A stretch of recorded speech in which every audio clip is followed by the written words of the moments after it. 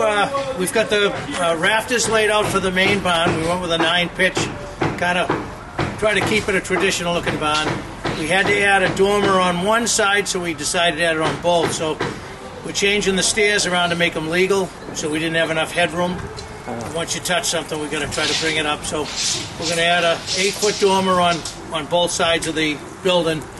So, so the old barn, as we'd mentioned earlier, the, the roof design was actually failing and pushing the walls out. So to take that problem away, we've gone with an engineered beam for a ridge. It'll be a structural beam. So the rafters will tie the walls to the top of that beam, and that beam, because it can't sag, the walls won't be able to, to bow out.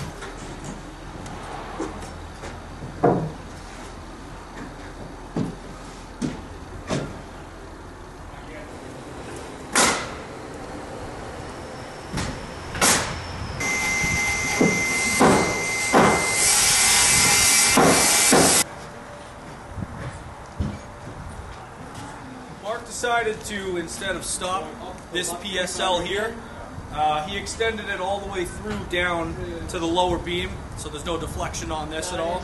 Yeah. Uh, it obviously goes to the underneath of that Parallam front here and back, and basically holds the weight of the entire building. So it's pretty important that we didn't stop it here and we went all the way through to the more structural beam down there.